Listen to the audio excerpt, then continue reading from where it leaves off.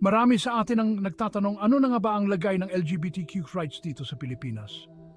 Naku mga bes, makulay ang sagot diyan.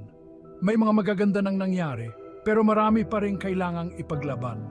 Sa totoo lang, wala pa tayong batas na nagbibigay ng pantay na karapatan sa LGBTQ plus community. May mga ordinansa naman sa ilang lungsod na nagbabawal sa diskriminasyon, pero hindi pa rin ito sapat. Kaya nga, marami pa ring LGBTQ plus ang nakakaranas ng diskriminasyon at pang-abuso. Mula sa pamilya, sa trabaho at maging sa lipunan. Meron din. Hindi naman puro lungkot at paghihirap ang kwento ng LGBTQ plus rights sa Pilipinas. May mga magagandang nangyari din naman. Unti-unti nang nagiging bukas ang isipan ng mga Pilipino sa LGBTQ plus community. Mas tanggap na tayo ngayon kumpara sa mga nakaraang taon. Dahil na rin siguro sa mga palabas sa telebisyon, pelikula at social media na nagpapakita ng realidad ng buhay ng mga LGBTQ+. Nakakatulong ito para mas maintindihan kami ng mga tao. Isa sa mga pinakamalaking hamon na kinakaharap ng LGBTQ community ay ang kawalan ng legal na pagkilala sa same-sex marriage. Bakit nga ba ang hirap na hirap nito sa Pilipinas?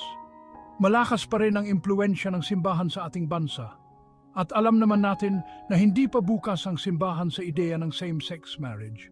Bukod doon, may mga mambabatas din na hindi pa handang panindigan ang pantay na karapatan para sa lahat. Kaya ayan, taon-taon na lang ay naibabasura sa mga mga panukalang batas na may kinalaman dito. Aba, may lumalaban. Kilalanin natin sila. Pero hindi tayo nag-iisa sa laban na ito, mga bes. Maraming organisasyon at individual ang patuloy na lumalaban para sa LGBTQ plus rights.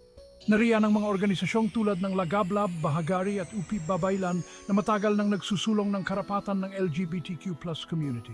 Hindi rin matatawaran ang kontribusyon ng mga individual na patuloy na nagbabahagi ng kanilang kwento at karanasan. Dahil sa kanilang katapangan, mas nagiging bukas ang isipan ng mga tao sa LGBTQ plus community. Acceptance ang goal, mga bes.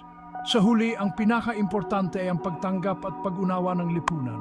Hanggat may diskriminasyon at pang-abuso, hindi magiging tunay na malaya ang LGBTQ plus community. Kailangan nating tandaan na ang mga LGBTQ plus ay tao rin na may karapatan at damdamin. Hindi kami iba at deserve namin ang respeto at pagmamahal na ibinibigay ninyo sa iba. Kaya naman magtulungan tayo para sa isang lipunan kung saan pantay-pantay ang lahat anuman ang kasarian orientasyong sexual. Sa huli, love wins ba?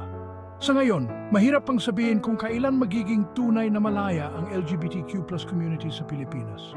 Pero isa lang ang sigurado, hindi kami titigil lumaban.